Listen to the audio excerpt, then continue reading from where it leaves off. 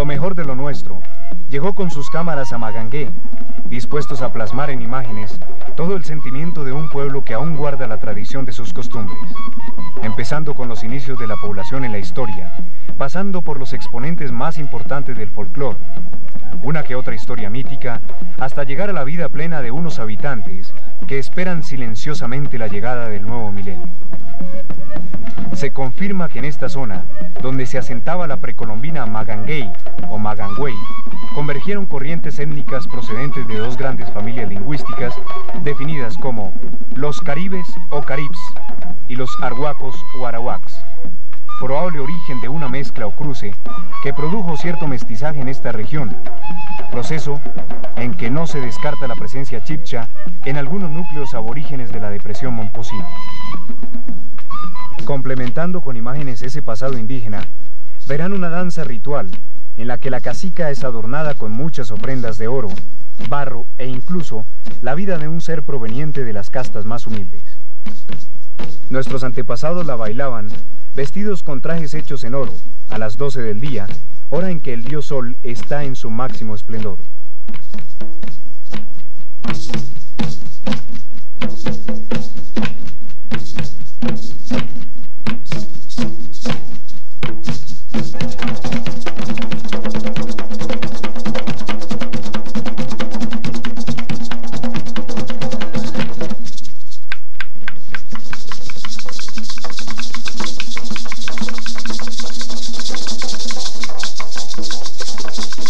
Thank you.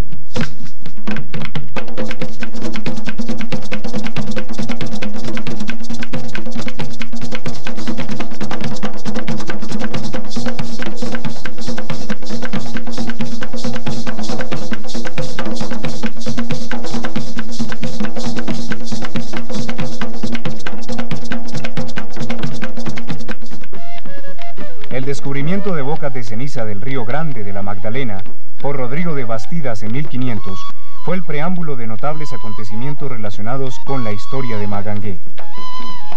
En términos generales abreviados, según los diferentes trabajos históricos consultados, Magangué fue fundada en el año de 1610. No se da la fuente, el día y el mes en que ocurrió el suceso. Lo que sí se sabe es que era un pueblo de pocos indios, como otros de las orillas del Bajo Cauca y Bajo San Jorge. En esta vía investigativa, siempre atenta al pasado, logramos obturar la cámara obteniendo las imágenes de una coreografía denominada Los Cabildantes. Danza que tiene un carácter de carnaval que representa el ancestro africano, como son carabalí, mandinga, congo y mina. En estos cabildos, las negras esclavas rivalizaban en lujo de vestuario y riqueza de joyas y adornos. Todo gracias a que sus ricas amas blancas prestaban dichos elementos mientras duraran las festividades.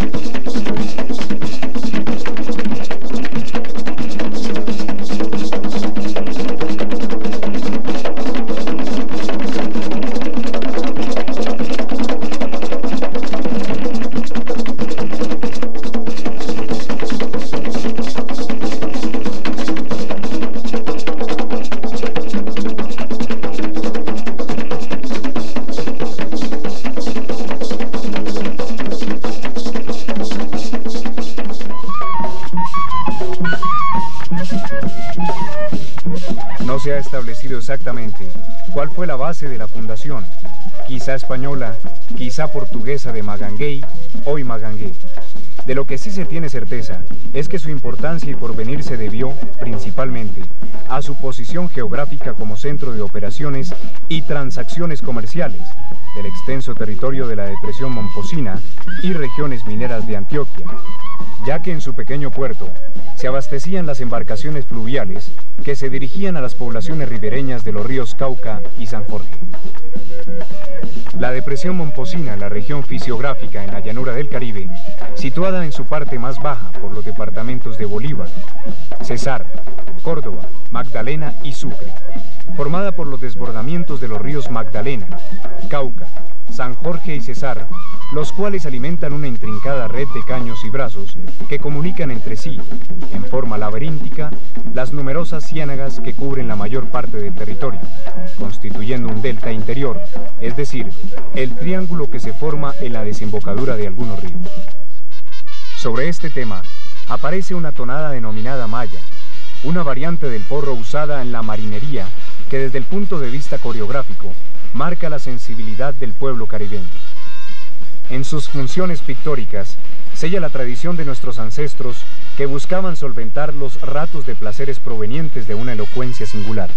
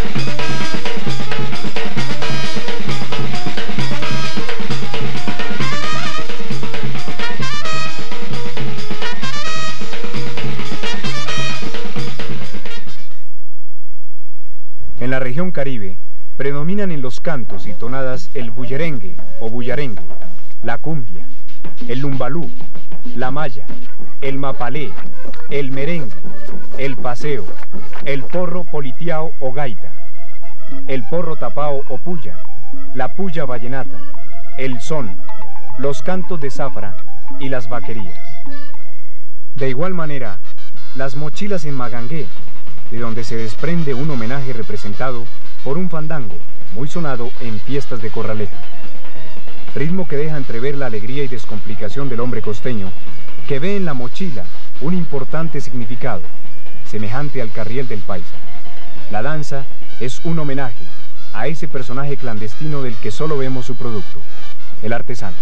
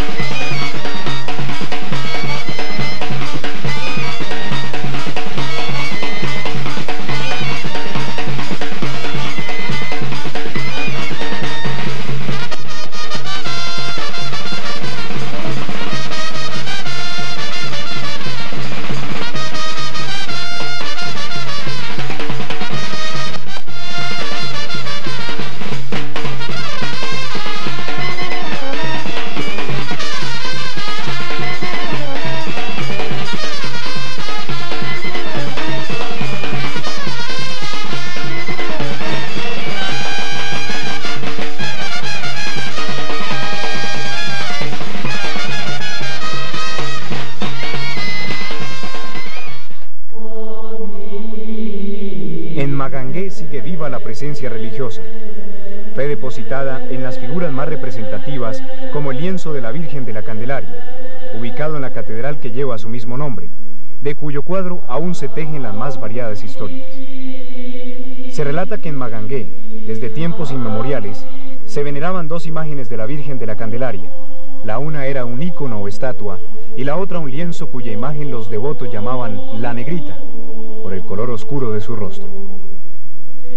Paralelamente a la religión, abundan los mitos, leyendas y supersticiones, en los que se debate el pensamiento magangueleño y el de sus alrededores. Casos especiales, el de la mata de Auyama, cuyo tronco es la divinidad suprema, la madre. La bramadora o bracamonte es un bramido que espanta a los ganados en las cercanías del monte y anuncia las pestes en los atos. El gritón, que es la personificación de los tornados, tempestades y borrascas del Caribe.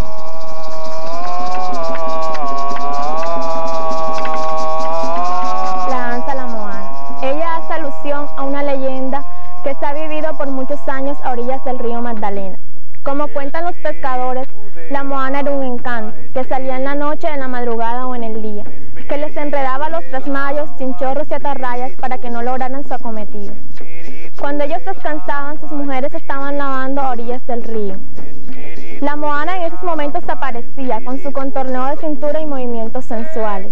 Su propósito era llevarlos al fondo del río. Ellos solamente podían ser salvados por sus mujeres siempre y cuando estuvieran casados. Espíritu del agua, espíritu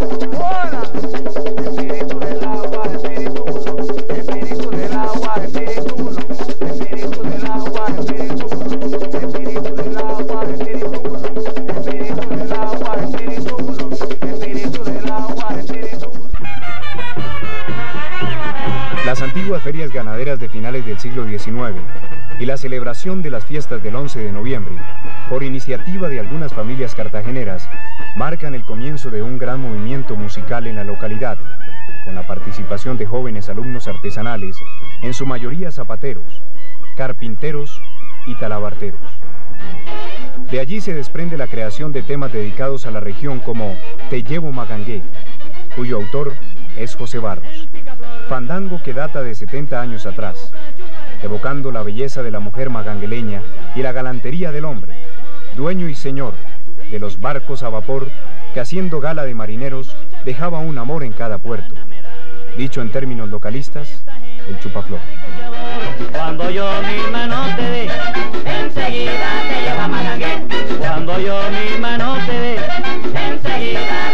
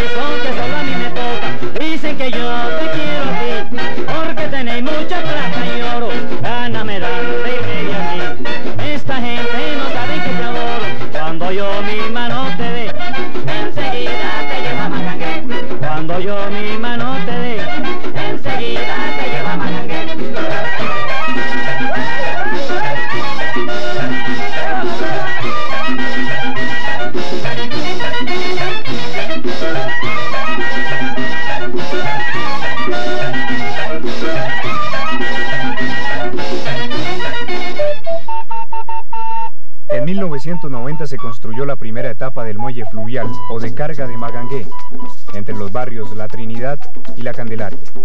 Los trabajos ejecutados consisten en una cubierta de concreto y enmallado de acero. Otro medio de importante significado es el ferry, un mercado móvil que se desplaza lentamente por el agua, transportando el futuro de un lugar a otro.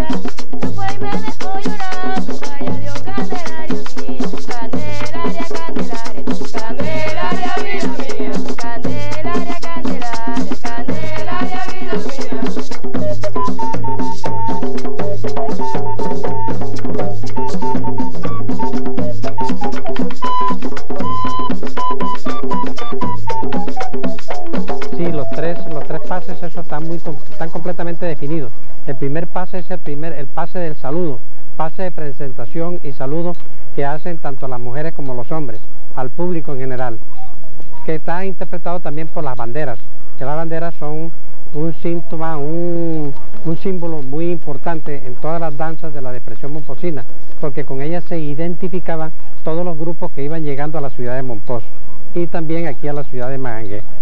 Entonces, la, ¿cómo se llama? La segunda parte, podríamos decir nosotros, es el brindis que hacen las mujeres a los hombres por medio de unos recipientes especiales de chicha indígena, que es la parte, es la representación del indigenismo en dentro, de la, lanza- dentro de la danza. Hay una, un pase reverencial por parte de la mujer hacia el hombre, que es cuando se inclina la mujer y se para el hombre. Entonces esa, esa parte de la coreografía es precisamente el saludo y el respeto que tiene la mujer, que siente la mujer hacia el hombre.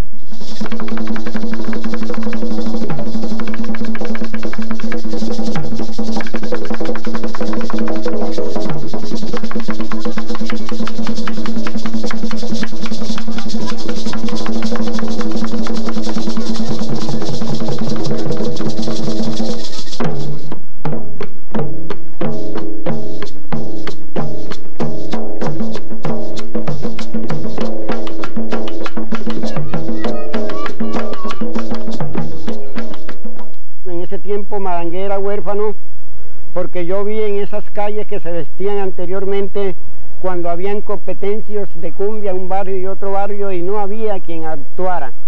Yo cuando vine aquí encontré fue el baile cantado, el baile de tambora y afortunadamente aquí no se conocía la gaita. Yo conocí el primer gaitero que estuvo en mi grupo, un señor que se llamaba Juan Gaita, pero él todas las no, posía tocando una noche con dos sones. No estaba la gaita tan promocionada como hoy está.